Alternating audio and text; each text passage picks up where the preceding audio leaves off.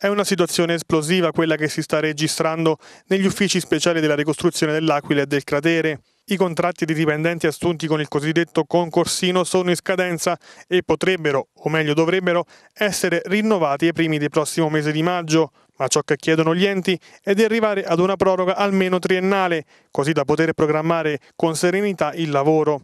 Ciò che preoccupa di più invece sono i 15 dipendenti a tempo indeterminato che hanno chiesto il trasferimento ad altra sede.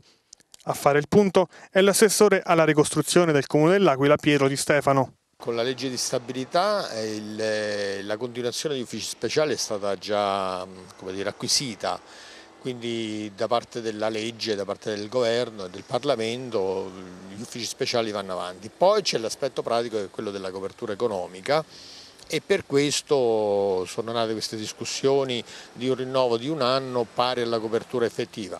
Si potrebbe fare di più se il CIPE stanziasse subito i fondi e ci portasse dire, la copertura giuridica e economica a tre anni in modo che ci sarebbe più continuità. Credo che l'aspetto peggiore è quello del personale invece va via, attualmente l'USRA ha 15 persone in meno su 50 di quelle che, che ha in dotazione che vengono dalla legge 134 ne ha 15 di meno perché sono vincitori di altri concorsi e quindi ovviamente sono andati...